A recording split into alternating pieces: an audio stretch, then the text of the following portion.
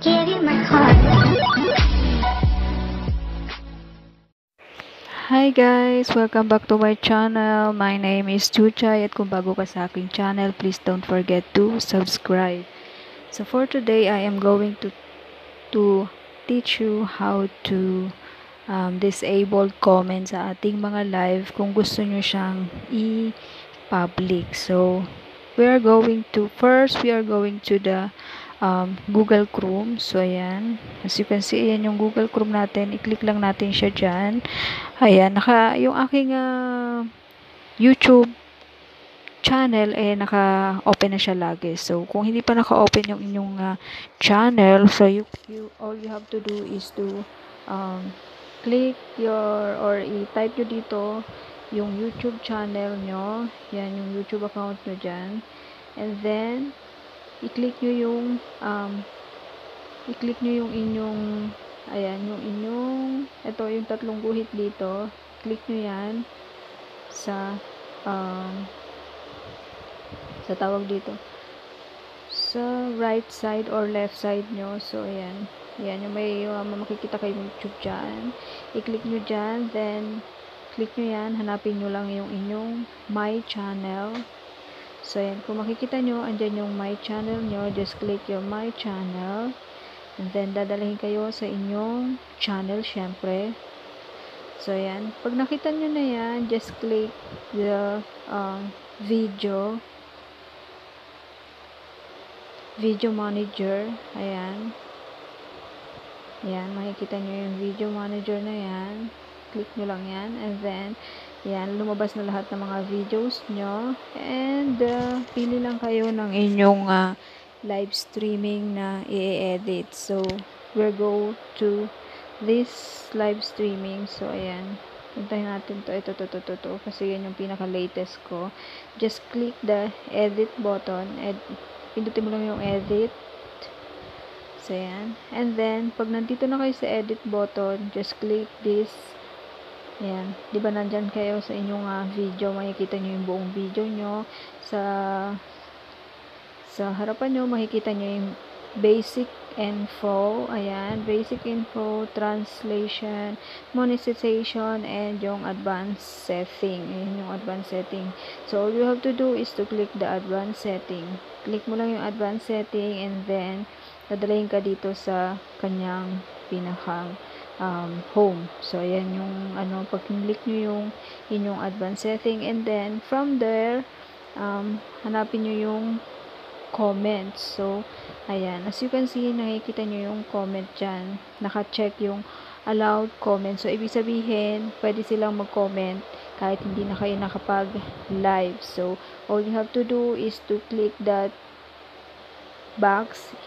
Yan, tanggalin nyo lang yung inyong check dyan. So, ayan i-click lang natin yan. And kung gusto nyo rin na makita ang uh, live chat o yung mga nag-chat sa inyo, yung mga nakausap nyo through live, kung gusto nyo hindi na makita, just click the allowed live chat replay. So, tatanggalin nyo lang yan para hindi na lumabas sa inyong channel o, o sa inyong live streaming. So, ayan. Na natanggal nyo na yung mga check sa comment section at yung sa live chat nyo. So, yan. And then,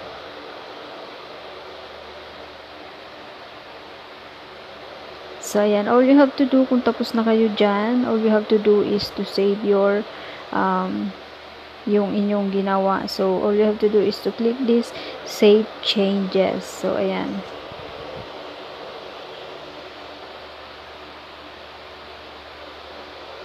Okay, na-save na natin siya. So, balik na tayo doon sa ating um, video. So, para malaman nyo kung wala na siya is we need to watch it. Panoorin natin yung ating video.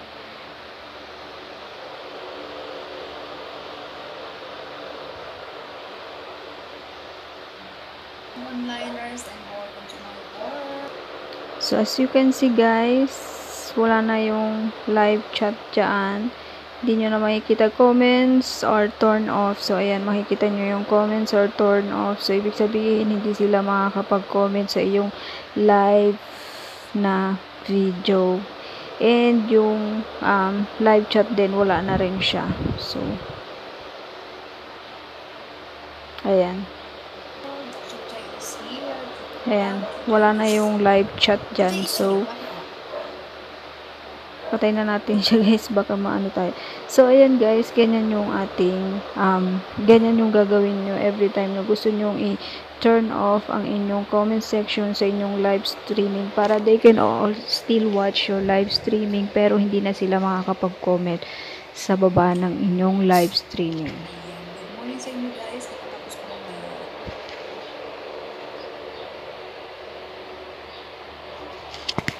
So, yun guys. Sana mayroon kayong natutunan sa aking um, tutorial today. And if you like this video, please don't forget to um, subscribe. Please don't forget to like and share kung gusto nyo pong i-share para mas maraming makapanood at para mas marami ang matuto sa ating um, tutorials. Kung, kung meron kayong gusto pang uh, matutunan na alam kong gawin, then just comment down below and I will find ways para ma-share ko din sa inyo ang aking mga natututunan dito sa aking YouTube channel. So, ayan guys, that's it for now. Thank you for watching. Have a good day to us and see you on my next one guys. God bless us everyone. Bye!